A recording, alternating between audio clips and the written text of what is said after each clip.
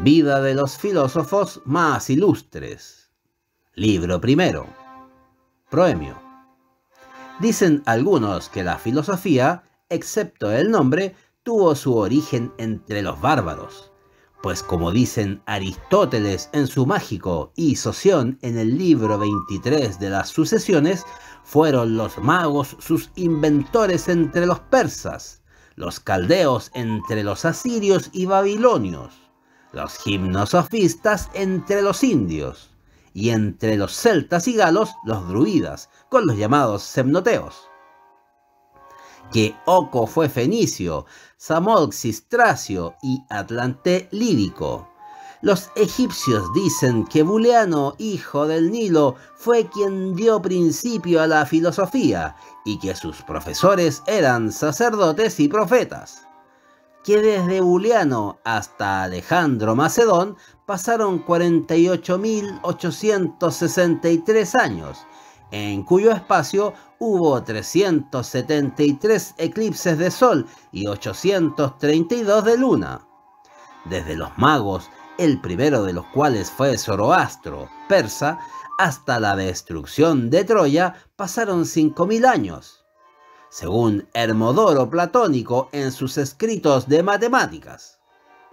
Janto de Lidia pone 600 años desde Zoroastro hasta el pasaje de Jerjes, y dice que a Zoroastro sucedieron continuadamente otros muchos magos, a saber, Ostanas, Astrapsicos, Gobrias y Pasatas, hasta la destrucción de Persia por Alejandro. 2. Los que esto dicen atribuyen ignorantemente a los bárbaros las ilustres acciones de los griegos, de quienes tomó principio no solo la filosofía, sino también el género humano. Ateniense fue Museo, tebano Lino. Museo fue hijo de Eumolpo y según dicen el primero que escribió en verso la generación de los dioses y de la esfera, como también que todas las cosas proceden de una y se resuelven en la misma. Dícese que murió en Falera y se le puso por epitafio esta elegía. En este monumento sepultado guarda el suelo falérico a Museo, hijo de un molpo muerto cuanto al cuerpo. Aún los eumólpidas de Atenas traen este apellido de Eumolpo, padre de Museo. 3. Lino dicen que fue hijo de Mercurio y de la musa Urania, que escribió en verso la creación del mundo, el curso del sol y de la luna y la generación de los animales y frutos. Su obra empieza así. Hubo tiempo en que todo fue criado unidamente de donde, tornándolo a Anaxágoras, dijo que todas las cosas fueron criadas a un tiempo y sobreviniendo la mente divina las puso en orden. Y que Lino murió en Eubea de una flecha que le tiró a Apolo y se le puso este epitafio. Yace aquí el cuerpo del tebano Lino, cual hijo de la musa Urania hermosamente coronado. De los griegos, pues, tomó principio la filosofía, puesto que hasta en el nombre excluye todo origen bárbaro. 4. Los que atribuyen su invención a los bárbaros citan a Orfeo Tracio, diciendo que fue filósofo y muy antiguo.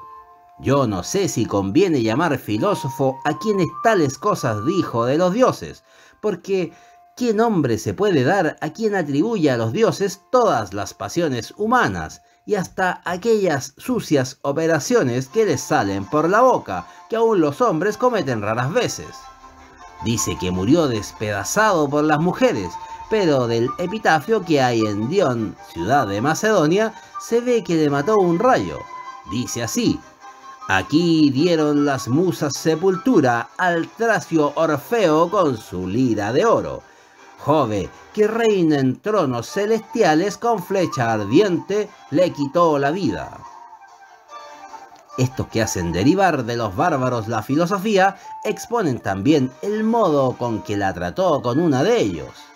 Dicen que los gimnosofistas y los druidas filosofaron por enigmas y sentencias que se ha de adorar a Dios, que a nadie se ha de hacer daño y que se ha de ejercitar la fortaleza.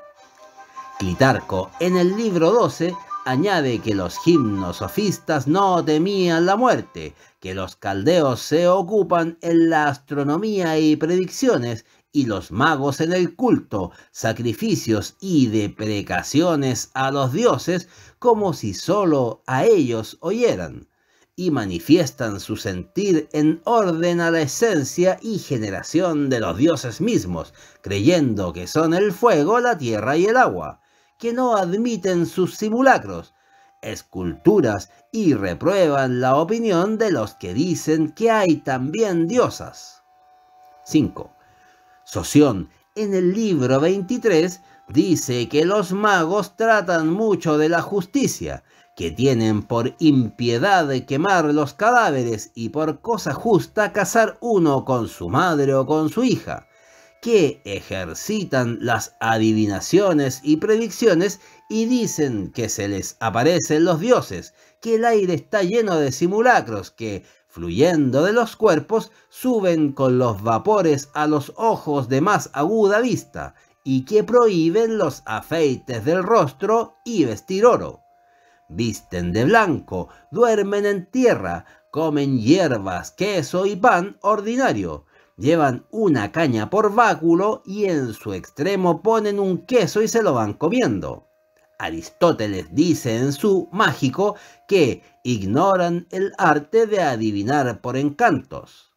Dícelo también Dinón en el libro cuarto de su historia y añade que Zoroastro fue muy aplicado a la observación de los astros, sacándolo por la significación de su nombre.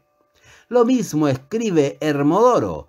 Aristóteles en el libro primero de la filosofía hace a los magos más antiguos que los egipcios y que ponían dos principios en el mundo, que eran un genio bueno y otro malo, llamados el uno Júpiter y Orosmades, y el otro Plutón y Arimanio.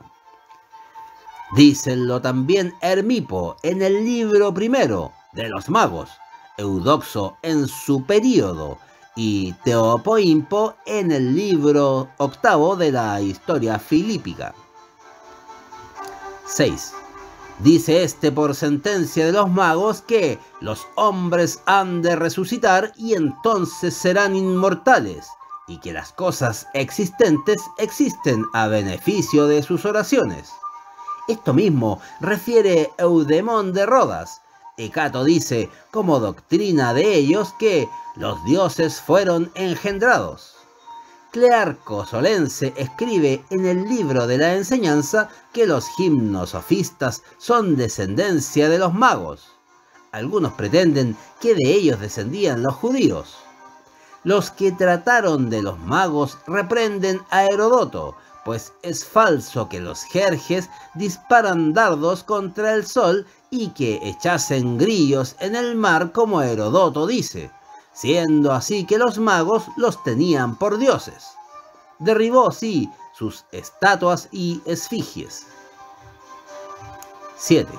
La filosofía de los egipcios acerca de los dioses y de la justicia dijeron ser esta, que la materia fue el principio de las cosas y que de ella procedieron después separadamente los cuatro elementos y los animales perfectos, que el sol y la luna son dioses, aquel llamado Osiris, esta Isis, y que los expresan simbólicamente por la figura del escarabajo, del dragón, del gavilán y de otros animales.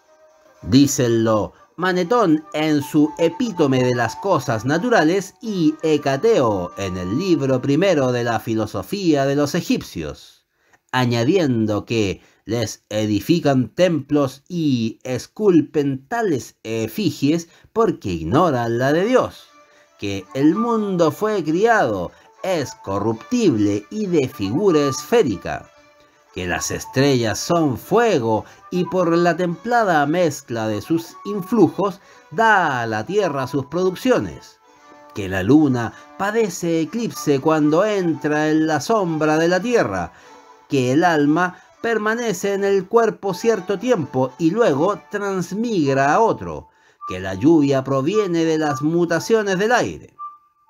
Otras muchas cosas disputan sobre fisiología, según es de ver en Hecateo y Aristágoras. Tienen también sus leyes sobre la justicia y las atribuyen a Mercurio. De los animales elevaron a dioses los que son útiles a los usos humanos y finalmente haber sido ellos los inventores de la geometría, astrología y aritmética.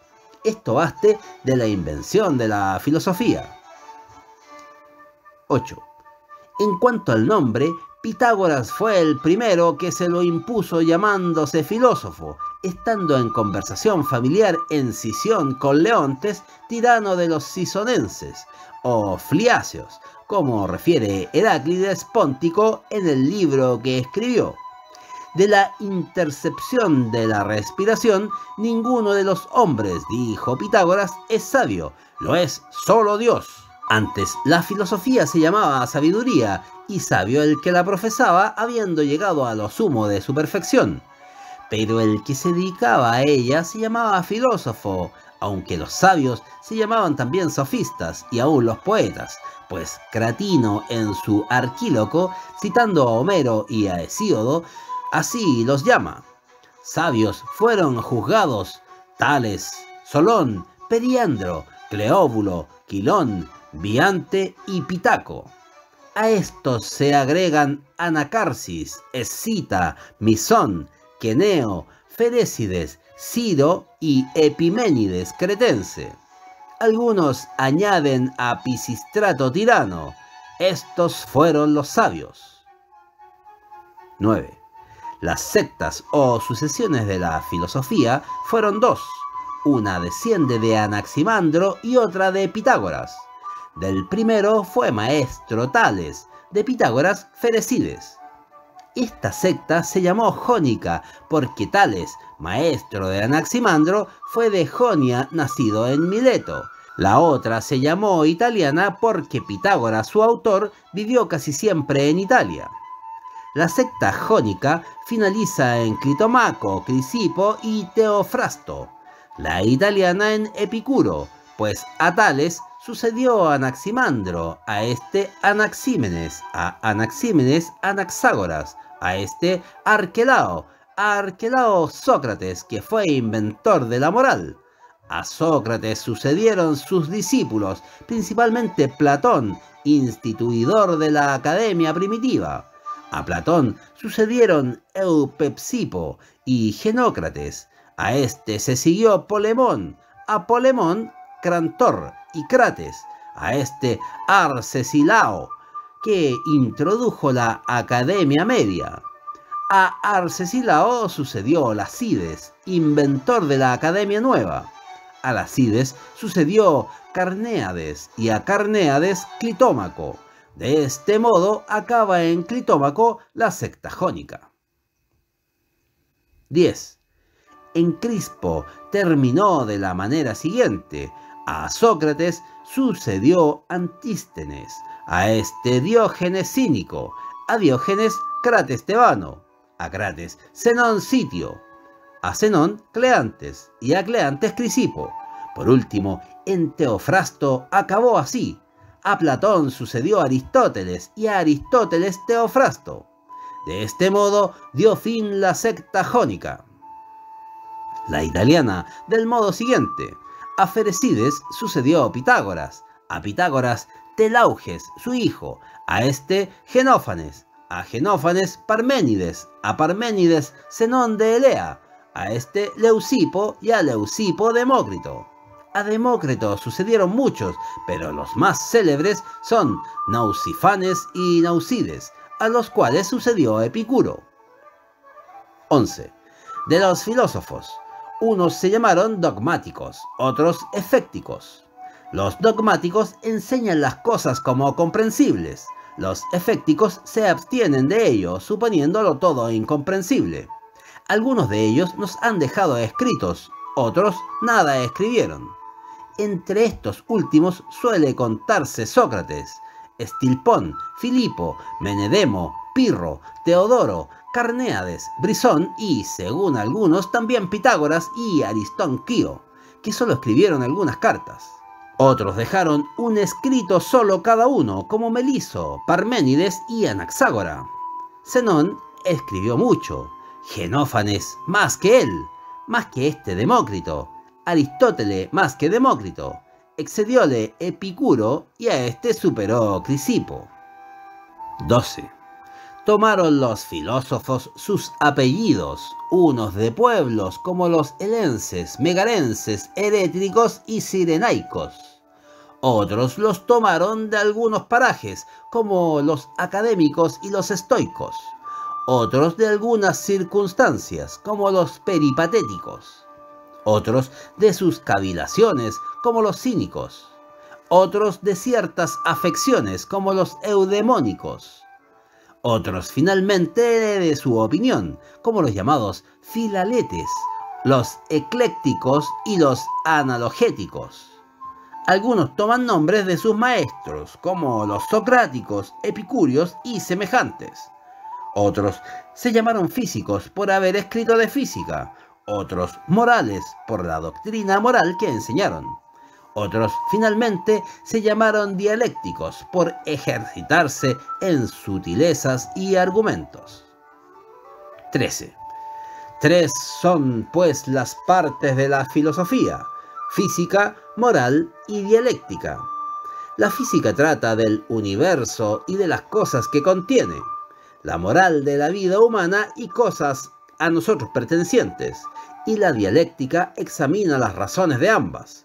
Hasta Arquíloco reinó la física. De Sócrates, como ya dije, comenzó la moral, y de Zenón de Elea la dialéctica.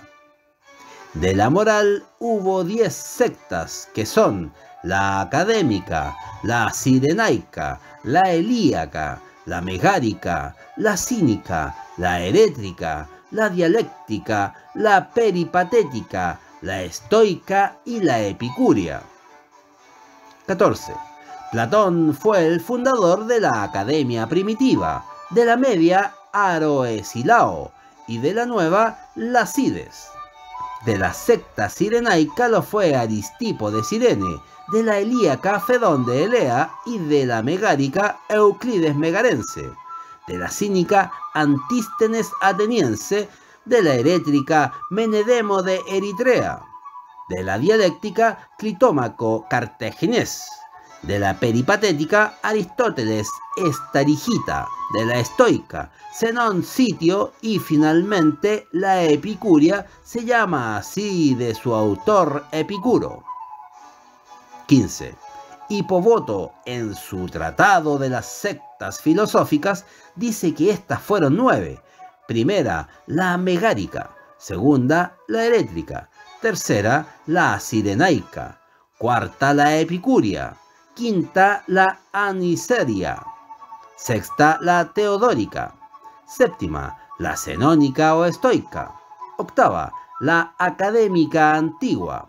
Y novena, la peripatética de la cínica, eleática y dialéctica no hace memoria.